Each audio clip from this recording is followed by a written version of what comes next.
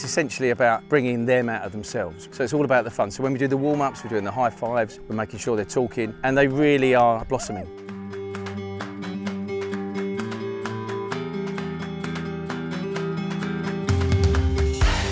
I'm Dylan Hartley. I'm down here at Medway Rugby Club to talk to husband and wife team Matt and Kate, who set up Medway and Kent's first mixed ability rugby team, the Cannons. Talk me through that. How did that come about? So we were at the Twickenham Awards last year for volunteer recognition and we were listening to all the awards and teams and clubs that were winning some marvellous things.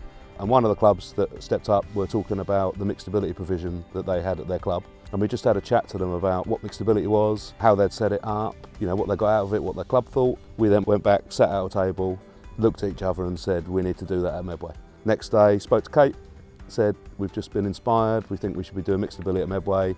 would you be up for it, leading it? And she said, absolutely. And then that's how it happened.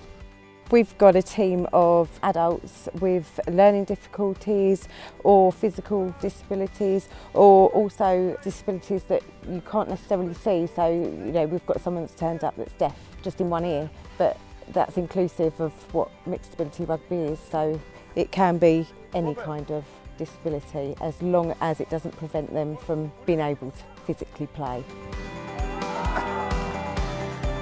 What's really important here is, is you guys are here for why I started playing the game. It's the, the enjoyment, the friendships, the bonds that you create, and the experience that you guys are having today. It's clear to see that you all love it, yeah? Yeah. They're having a great time, right?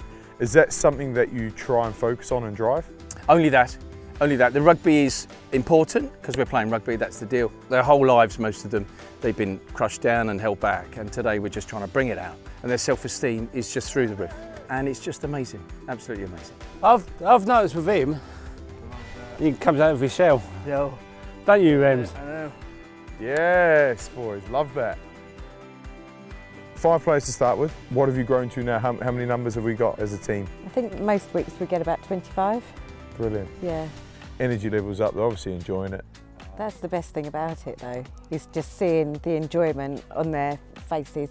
You know, if we've had a bad week at work or, mm. you know, life's getting a bit stressful, coming here on a Saturday morning is therapy. It, you know, there's constant giggles, isn't there, and laughter.